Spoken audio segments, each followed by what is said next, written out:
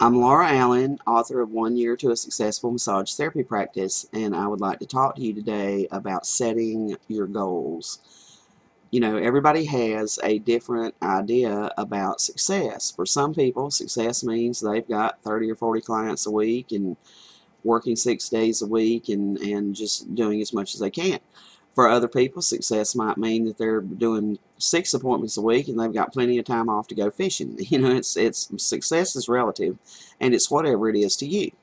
So I would like for you to write down, and that's the very important part. Write down what your goals are. What is it that you want? How many clients a week do you want? How much money do you want? And what is it that you want to be able to accomplish? Do you want to move from working to someone else to owning your own business or maybe it's the other way around. Maybe you've got your own business and you're tired of it and you'd like to get a job in, in a franchise or a spa or whatever it is. So write down your goals. The second thing that you need to write down is what is standing in my way. And the third thing you need to write down is what can I do to remedy this situation.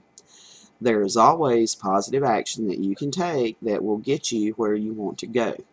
I write my goals down. I place them on the bulletin board right next to my desk where I have to see them every day. And it just keeps my eye on the prize that there's something there that I want to accomplish and what is it that I need to do in order to make that happen.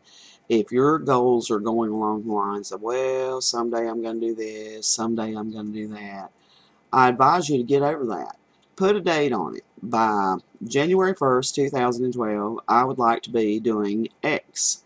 And then brainstorm about ways that you can make that happen.